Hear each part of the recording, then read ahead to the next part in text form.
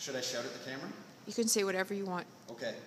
Mobility is the key to Olympic weightlifting. If you do not have mobility, you will not be able to get into the key positions for the Olympic lifts. Mobility comes first.